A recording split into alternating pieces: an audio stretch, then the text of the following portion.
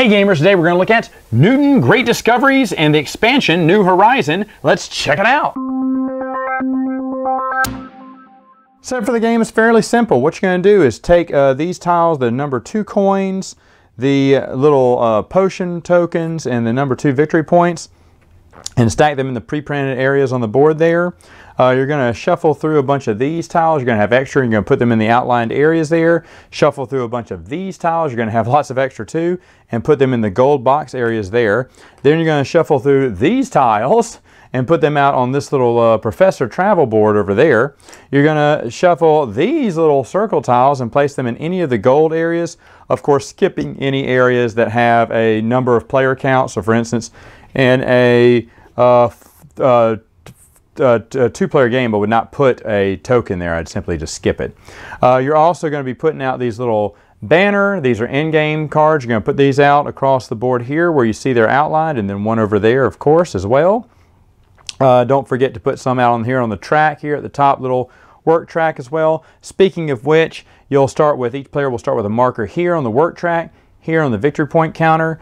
Uh, they're going to shuffle all these little column areas and put them where the columns are, shuffle these little school areas, and it's cut to show you where it goes, and then put them in the school. It doesn't matter where they go, you just mix up those uh, as well over there on the compass board there. That's the compass board. And uh, there's the compass. and then uh, you're also going to be uh, giving them two students here, two students in the uh, area here. Everyone's going to get this quick, quick action tile. They're going to get cards of their color. Everyone has a color or shape as well. They'll start with two coins. They'll get four of these master classmen, master scholars or whatever. They'll put their cubes here, their book tiles here by their player color. Of course, this looks normal here, but you put the book tiles, divide them into stacks of three and put them from here. You'll grab them from the top, bottom, as you will cubes. You're going to shuffle through each one of these decks here, the one, two, and three scholar hats and deal out three cards each in those rows. If you're playing with the Great Discoveries card, you'll have them over here. You'll have a quick reference for uh, uh, these quick actions that you can do, like free actions you can do in the game, and then you are ready to play. Now, game's fairly simple. What you're going to be doing is you're going to be playing five cards from your hand. You start off with six here. You'll be playing five cards on the board and taking the action associated at the bottom of the corner here. So what do each one of these do? Well, when you play this one, let's say I was to play this one, well, I would get to move of this industry track one symbol. But because my special player board comes with a second one, I would get to move two. So I can move any of these guys two spaces. So I could go one, two.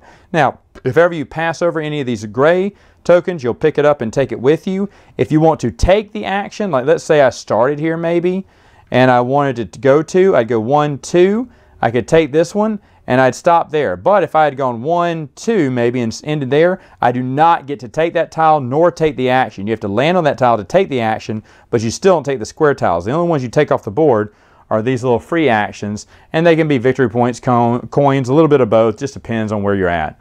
Uh, same thing with the uh, scholar track there that I'll get to. But anyway, uh, you can go there, take the action. If you ever hit a dead end, if your student goes all the way and ends here, well, you see there's no other roads connecting here. That means he's locked right there. Same thing if a student were to go down this path and in there, he'd get locked and couldn't come back.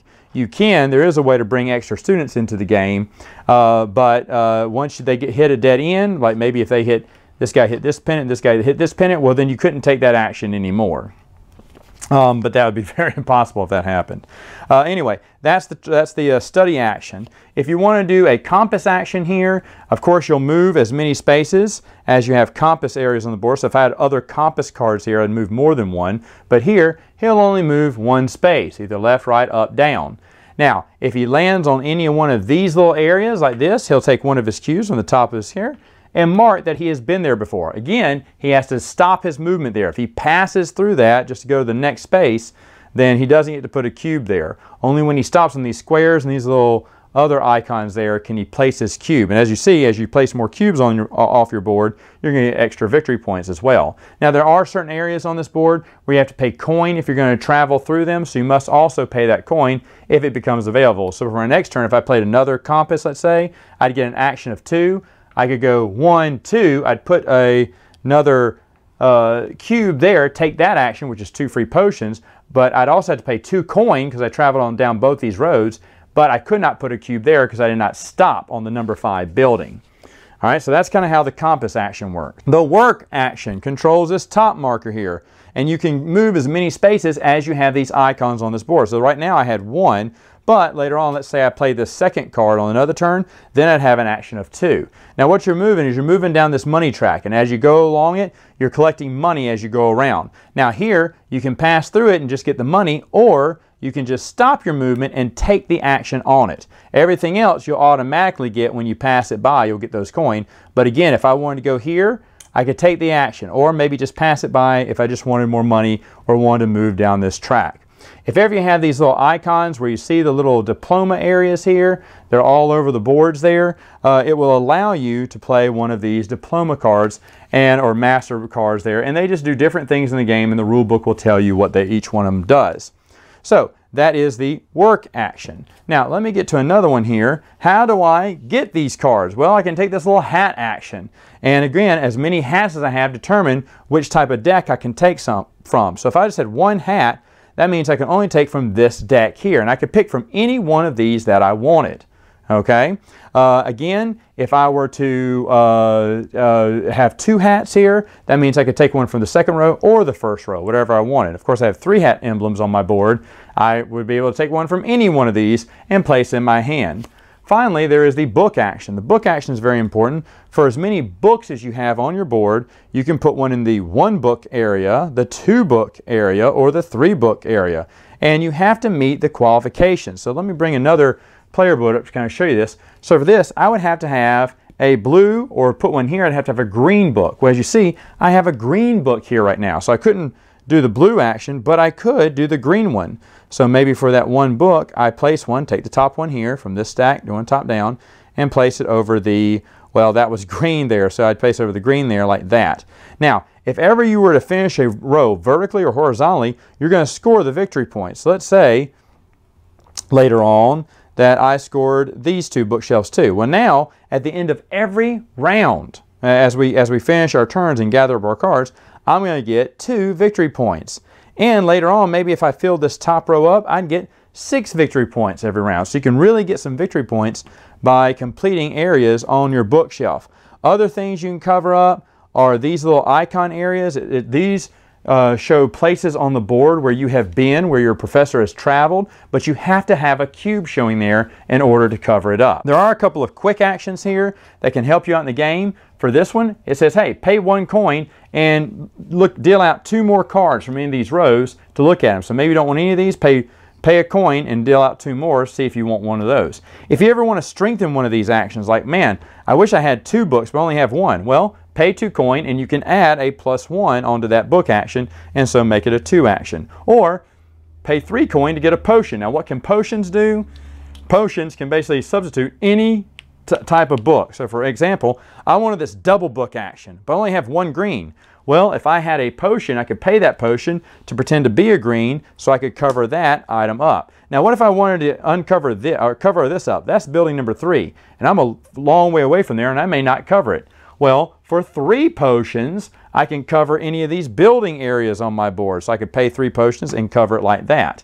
Uh, when I'm taking the book action, of course. So those are some of the quick actions. These are free actions you can do as long as you have the resources. Remember, three coins buys you a potion. And then again, five coin here, you can pay to have one of your students come off your board and start on the learning track. Of course, you'll do that up to two times there. And so those are the quick actions you can do in the game. Uh, the last action here is the Joker action. The Joker, when you play it, of course my board is full, so let's say I had an extra space available. The Joker can count for any one of these symbols. So maybe I want the mechanic symbol. That's one, two, and the Joker would be three. The only thing to keep in mind is if I had done that earlier and then I played this book action, does the Joker count as a book action too? No. Joker only counts as that one item during that round. After that, it's kind of null and void. Now, at the end of the turn, when everyone has taken five turns here, they're going to choose one of these cards and they're going to tuck it underneath their player board like so. And that way it gives them another permanent icon that they're going to have in the game. And then they're going to gather up all their other cards and keep them in their hand. So for example, maybe next time, if I played this one, I'd have that action times two. And it's going to strengthen an action as you're tucking each card after each round. Because obviously, this is going, well, this is one, two, three, four, five. You'll go six rounds having uh, multiple actions to take. And of course, you're playing cards from your hand. You're either doing the actions on the board. Again, the rule book explains you what all the cards do, but the iconography is very simple here. And at the end of every round, you're tucking another card in there. The game ends after six rounds. Oh, by the way, I should mention this is the first player. You'll pass this around at the end of every round. Of course, score any bookshelf points you have, gather up your cards, and play them again. At the end of six rounds, then you're going to add up any in-game victory points that you have here, any of these students that have reached these banners. To reach some of these banners, though, you must have those books on your bookshelf currently in order to move into that space. Once you're there, then you can score uh, those victory points. And of course, whoever has the most victory points wins. I should mention there are some promo cards you can get from Master Classmen. Uh, this Great Discoveries here is another quick action you can do in the game. Basically, you pay the coinage, you get the permanent action, which is listed here. So I would always get a potion, and I'd always have like an orange book in my library. And then any time I can cash in and get victory points for any of these conditions. And the rule book will tell you what each one of these great discoveries do. Again, that's a, that's a quick action, something you can do for free. Another expansion they have is the New Horizons board. With the New Horizons board, there are new spaces here. First off, you see the uh, times two areas here.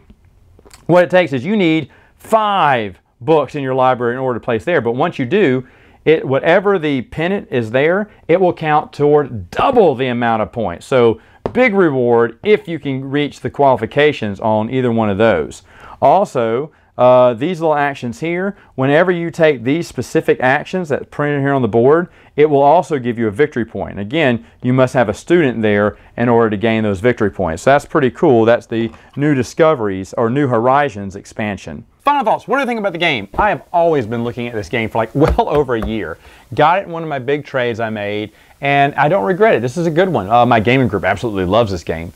Uh, I like that the player boards are different because you're going to be focusing on that extra bonus action. What can I do with that?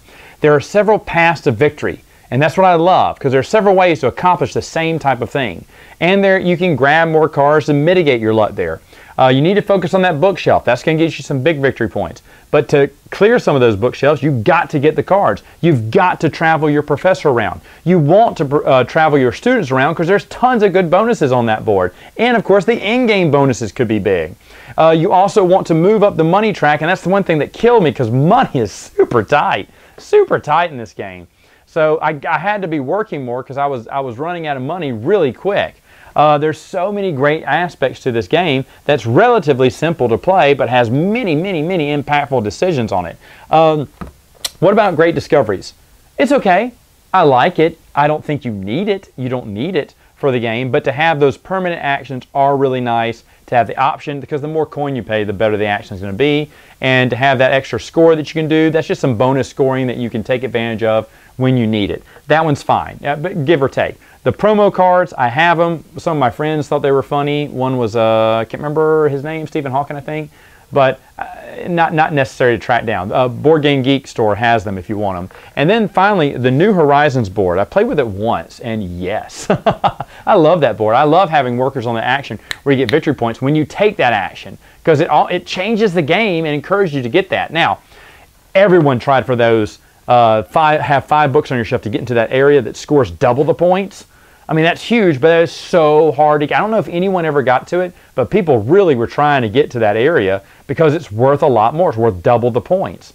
Uh, so I, I, I, just love this game. A lot of different, uh, like I said, I love, I love a game where there's a common goal, but several different paths to victory. And don't forget those quick actions. Do not forget those. I forgot those quick actions so many times because I would have spent two coin in a heartbeat to update one of my book actions or cog actions to move further or do something else in the game. Uh, I love those quick actions too. Those are great. So overall, Newton, that's a keeper. All right, gamers, that's it for now. Until next time, game on!